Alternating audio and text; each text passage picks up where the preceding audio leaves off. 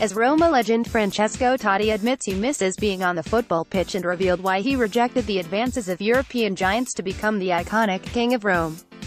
Totti, 41, retired at the end of last season after 25 seasons, 785 appearances and 307 goals in the first team with the Giallorossi and has since taken over a director role at the Serie A club.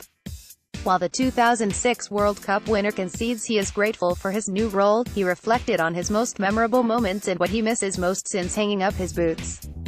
I never left Rome and Serie A because ever since I was young I wanted to wear only one shirt.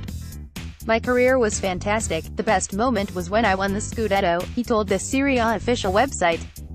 The thing I miss most about the pitch is pulling on my boots, but I'm lucky to live in another way as though I were a player. I'm in the dressing room, on the pitch, I talk to the coach and I go to pre-season training.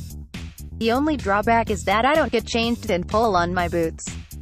I knew as soon as I joined the first team that football would be my life, then as I went along I realized it had become a job. When they called me the King of Rome it was an indescribable emotion. Article by Stat Reporter The comments posted do not reflect the views of Kickoff.com.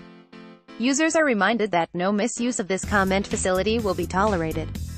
Any abusive, racist, inflammatory, defamatory, discriminatory comments or hate speech will be deleted and the user banned. If legally obliged we will hand over your information under the Protection of Information Act. Please report abusive posts to editor at kickoff.com.